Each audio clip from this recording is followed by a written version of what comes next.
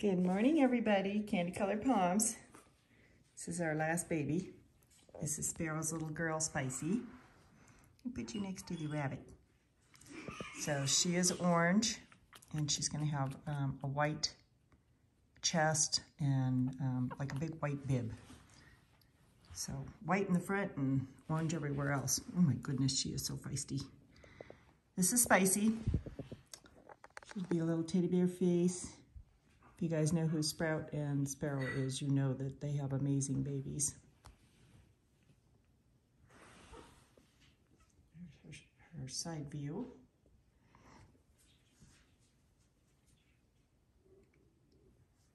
Back up a little bit so you can see how tiny she is. There. I think I zoom in too much and everybody says, oh my God, they're so small, they're so big. So there she is. And look who's coming to visit. Okay, let's see if I can keep her there. And then I will share her brother with you. This is Angus. He's already spoken for. I have to put her back in here. She's too wiggly. Okay, so here's Angus sharing for his mama.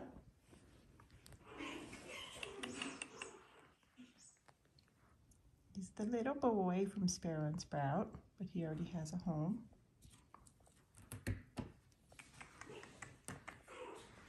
Beautiful. Goose thinks so too.